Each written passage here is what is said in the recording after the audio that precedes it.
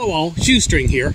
Today we're going to be updating my auxiliary power system with this new Bateria solar charge controller. It's a 2.0 and it's a 20 amp. It's a MPPT and it is a, like I said, solar charge controller, Sunrock 20 Pro.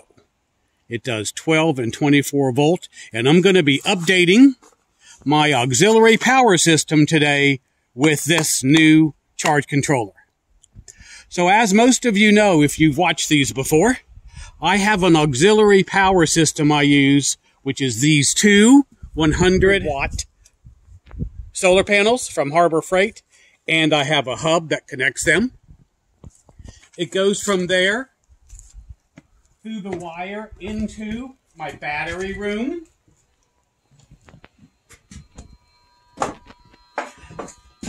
Then from the wire, it connects to this Renogy charge controller that I've been using. Right there. It hasn't been too bad. The reason I'm upgrading it to this new one is the wires here look too thin to me.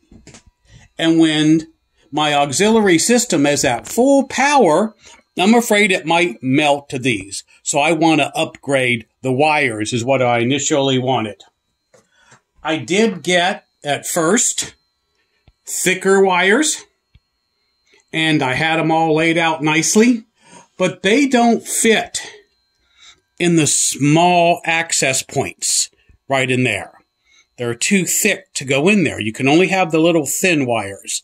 And I decided that was not safe because I don't want anything to get hot and burn up. So my solution to that was to find another charge controller that's still MPPT and can handle all the wattage from my auxiliary system. To do that, I have selected this Bateria Power. And we're going to open it up and we're going to connect it right now.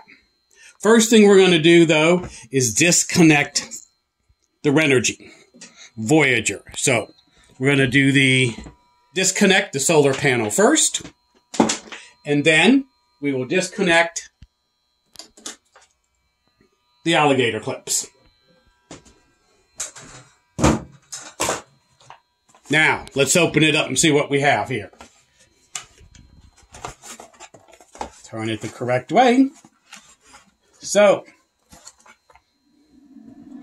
we have first paperwork shows an app, Charge Pro 2.0. Good. This is for Google, and that's the App Store. So we'll hang on to this because it looks like we can monitor it with an app.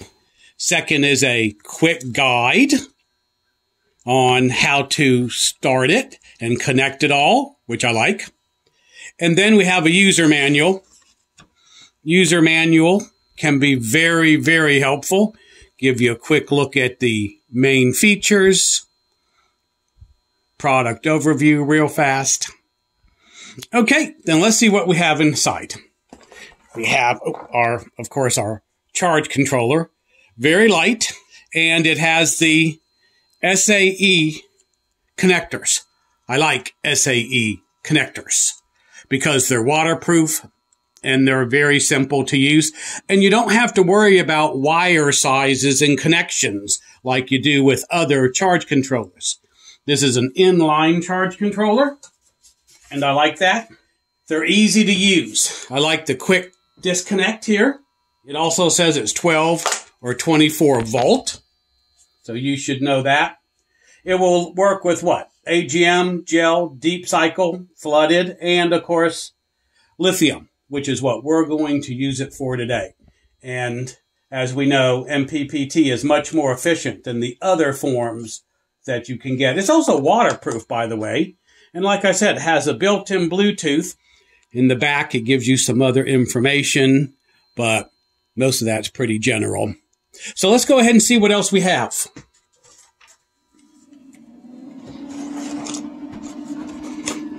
Okay.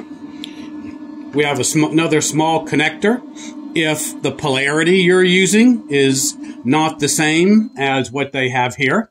And two small SAE connectors with already taken care of in the back stripped. And we'll hang on to those. They could be very useful in some other project. Don't think I need it for this one. And of course, screws if you want to screw your charge controller in. I'm not going to because I might want to move this around. And remember, this is only auxiliary power. I only really hook it up when the system is using a lot of power and the chart and the solar panels on the roof is not putting out enough power. So let's go ahead and hook it up, see how it works. Go ahead and connect it.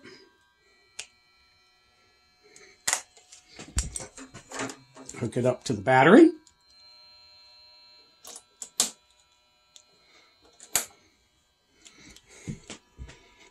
And there it comes on. It's trying to read the voltage, see where we're at. And it is set for lithium 12 volt, as you can see there. Course, no voltage, no amps, because it's not connected to the solar panels yet. Gives a temperature, that's pretty standard. But I do like this. The screen is small, but it's easy to read.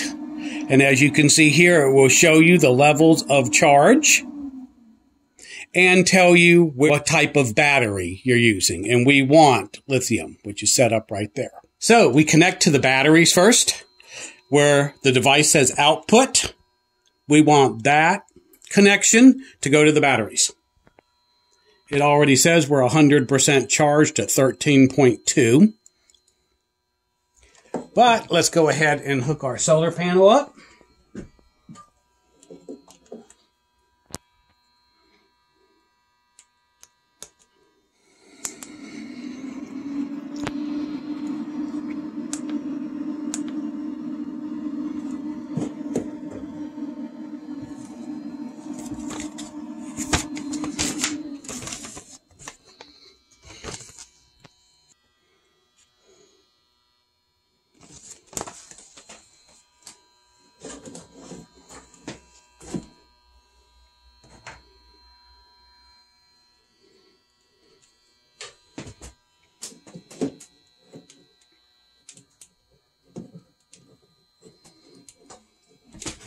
So in case you missed that, the charge controller was saying error 13. Now it says there is no error. When I looked up the error 13 in the manual, it said error 13 is solar reverse polarity. So I put in the extra connector they gave us for polarity right there. And the error went away. And now we have no error. So, this is working the way we wanted it to work. And I think it will be a wonderful addition to my solar system here. And will make this auxiliary power a lot safer. As you can see, it is still saying that how much is coming in from the solar panels. It's not sunny today, so we're not going to have a lot of power come in, but I do believe this is a good solution. And if you need auxiliary power that's more than one solar panel, you may want to consider this as well. So if you like these videos, please like, subscribe, and share. Shoestring out.